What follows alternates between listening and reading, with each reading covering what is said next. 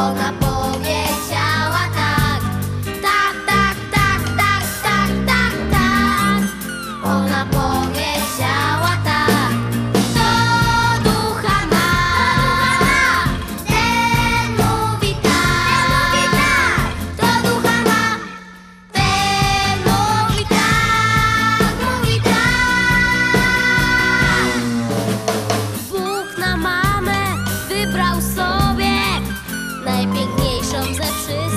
kobiet. Bóg ma gust, on się zna. Wiedział